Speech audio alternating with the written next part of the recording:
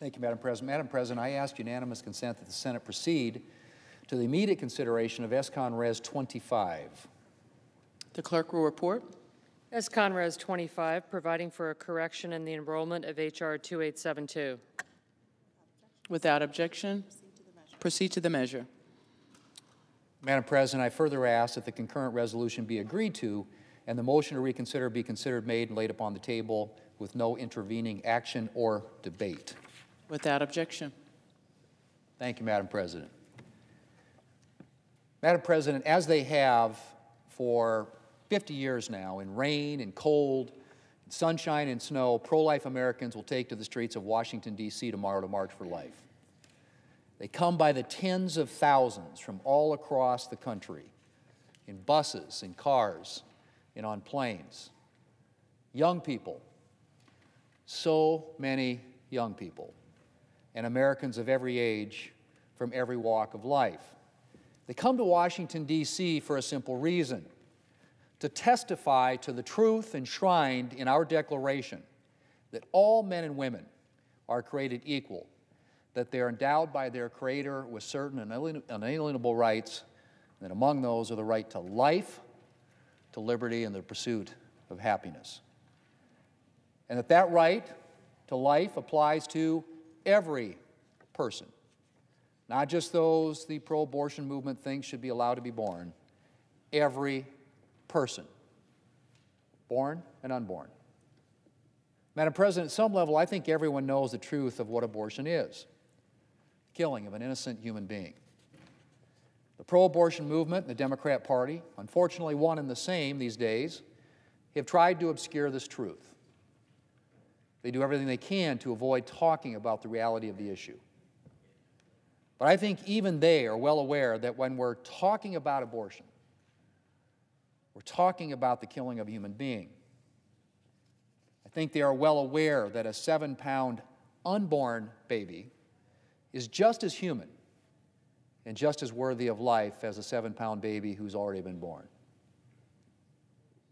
But although I think everyone knows the reality of the issue, it can be easy to ignore or forget the fact that every year in this country, hundreds of thousands of babies are being killed by abortion.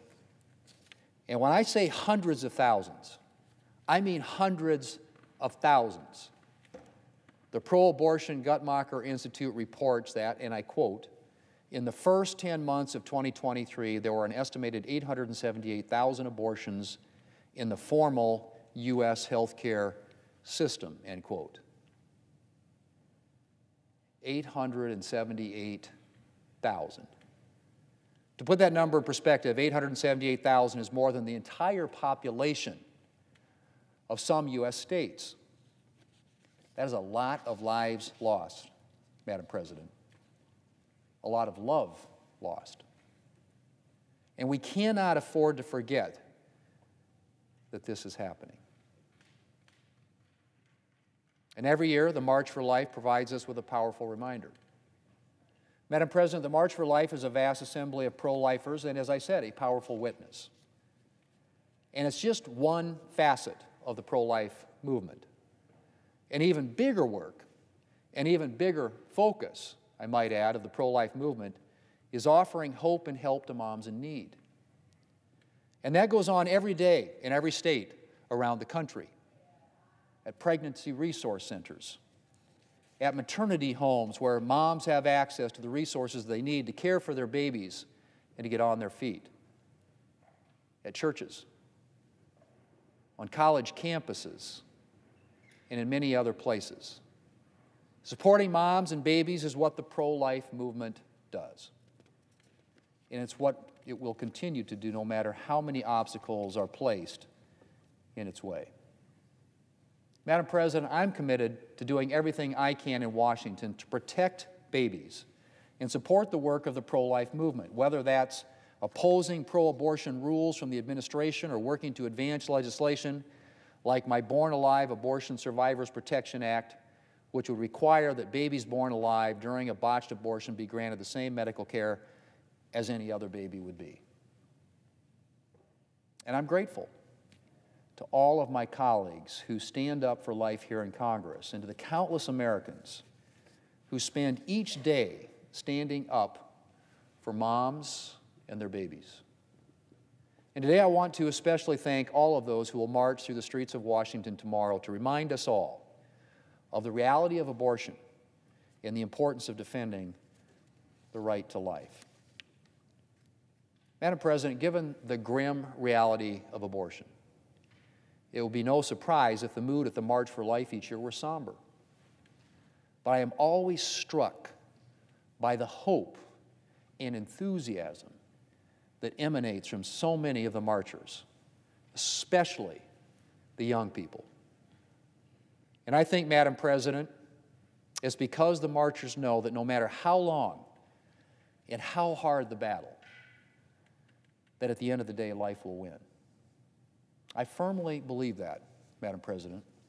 And I look forward to the day when we fully live up to our founding principles and ensure that the right to life of every American, born and unborn, is respected. Madam President, I yield the floor.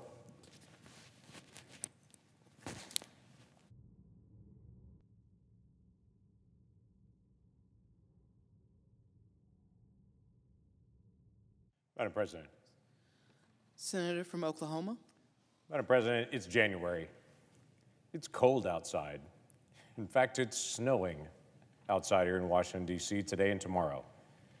It's late January, which means what it has meant for the last five decades. Pro life Americans will gather by the hundreds of thousands in Washington, D.C., and will converge on this city to say, We think every child is valuable. Now, I have to tell you, every march that I've been to, and I've been to a lot, they're all cold. They don't all have snow. This one will. I bet it won't dampen the spirits for a lot of students and leaders and moms and dads, little ones that'll come, just to be able to say, hey, we're an American, and we think life is valuable. We think children are precious. We think this is an important issue. Now, it hasn't all, we haven't always had a March for Life. We've had one for 50 years, actually. But it's interestingly enough, when Nellie Gray and some other pro life leaders organized the March for Life starting after 1973, after the Roe v. Wade decision, they were recognizing an anomaly in American law. Because our nation's been a nation almost 250 years, but abortion was only mandated in every state and every place just during that short time period under Roe v. Wade for the other two centuries of our nation, this issue about the value of life was decided in every state and among the people. That's what's occurred again. We still have abortion in America. It's happening all over the country. But individuals are rising up and saying our state, our leaders, and even this Congress needs to have a conversation about when is a child a child?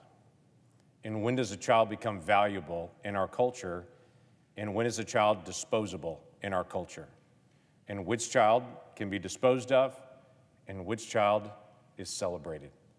I, I love this side by side picture here, and I don't know if you can really see it, but this is an ultrasound that's actually happening in the womb with this baby in this position with arms up over her head, and then a baby sleeps like that. In fact, both of my daughters, they often slept like that. We called them touchdown position on that when their hands were raised up over their head. But it's kind of funny for me to be able to see this picture and to be able to see an ultrasound of this child in the womb sleeping just like the same way they would later sleep in the crib. You know why?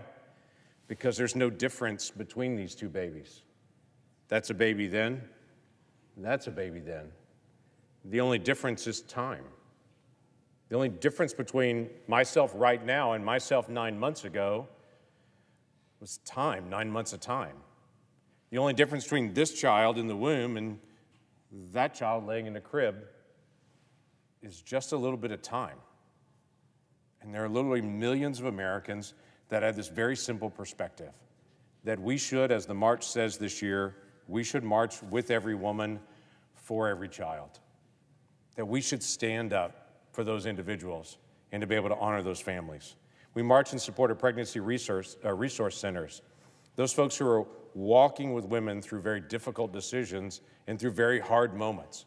There was a recent study that was done on pregnancy resource centers, done just in 2022, that found that $359 million were donated to individuals through pregnancy resource centers all over the country. Those are diapers and wipes, those are baby formula, that's car seats, that's free ultrasounds, that's free pregnancy tests, that's after abortion support, and sometimes it's strollers and clothes. The vast majority of those individuals that work in these pregnancy resource centers are, are heroes. They're volunteers that give their time. They've got full time jobs or tasks or families in other places, but they value every single child, even the children they don't know enough. That they would donate their time and their money and their effort just to be able to say, that child is just as valuable as that child. And then in America, we shouldn't pick and choose which child is precious and which child is disposable. We should just say they all are. This administration's been exceptionally aggressive on taking on this issue of life, pushing back from the very beginning.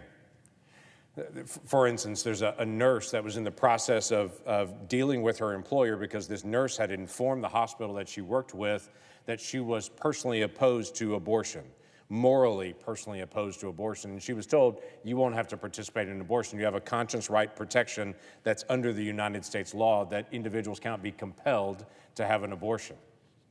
So she worked at this hospital until one day she had a doctor and a nurse that actually compelled her to participate in an abortion or she would lose her job. She was not allowed to be able to have her conscience without losing her job. Well, that was in the course of litigation, but in the earliest days of the Biden administration, that litigation was just dismissed, saying to her, We understand it's federal law that you should have conscience protections, but we don't agree with your opinion, and so you don't get conscience protections. Only people we agree with. That's wrong. In my state,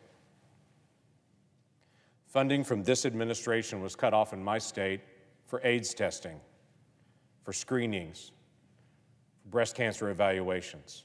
That money was federal dollars allocated to my state to help in health care in rural communities. That money was cut off by this administration. You want to know why? Because our state would not promote abortion.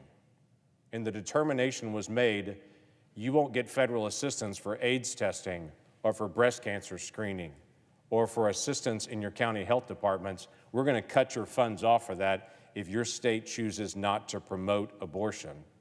And our state stepped up and said, We believe every child is valuable, both of those kids.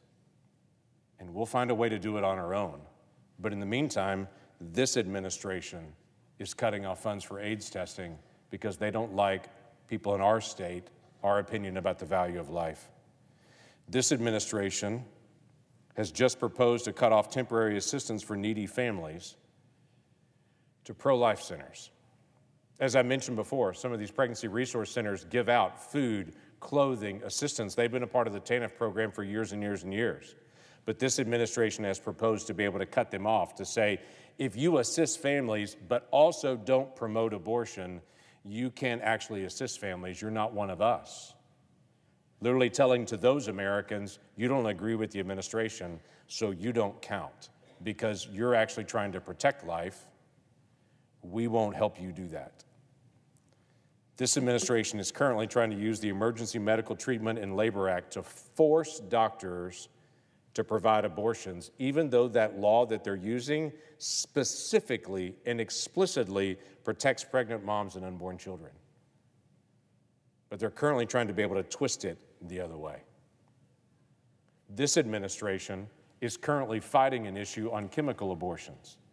Chemical abortions that have been around for years. A two drug cocktail that the first drug actually disconnects the child from the connection in the womb and starves them. The second pill causes that delivery, causes the contraction of the uterus, and they have an abortion at home, a do it yourself kit for at home. That for years has been a very specific issue, only a certain specific time period.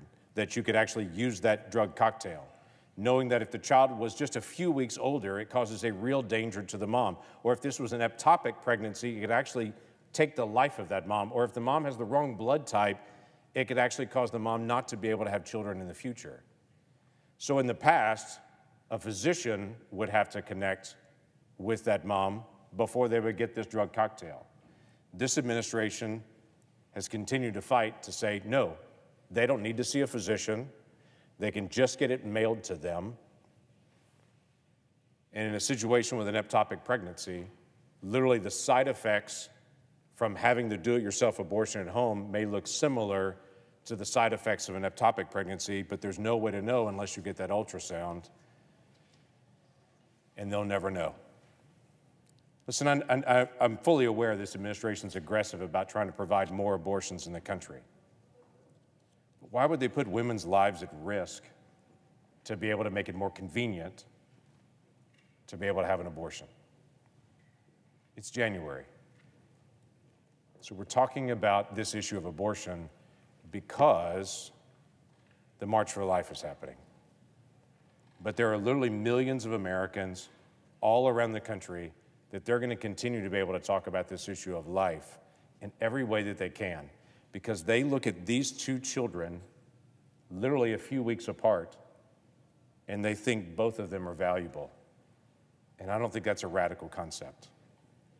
We live in a culture in America that is committed to tolerance, acceptance, and diversity, but it seems to be so except for every area except for that child. That child doesn't get to have tolerance, acceptance, and be welcomed into a culture. That child is sometimes determined to be disposable. And I want to say to the millions of Americans that see both these kids and both think they're valuable, continue to be able to love people, to be able to walk alongside those moms, to be able to encourage in every way that you can. Because as a culture, as we keep talking about this issue, more and more people will look at these two pictures and will say, You're right, they both look like children to me. Why don't we treat them equal? That's what we should be all about as a country, and that's why we march in every cold January. That I yield the floor.